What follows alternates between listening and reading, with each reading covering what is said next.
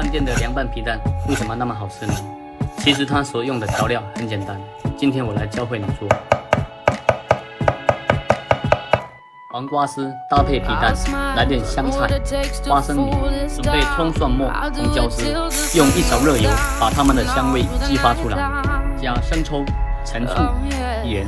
想要凉拌菜好吃，当然少不了油辣子。饭店的厨师吃面条的时候都会悄悄加点油辣子，太香，点个红心保存收藏，万一下次你用得上，简单又美味，赶紧把它变成。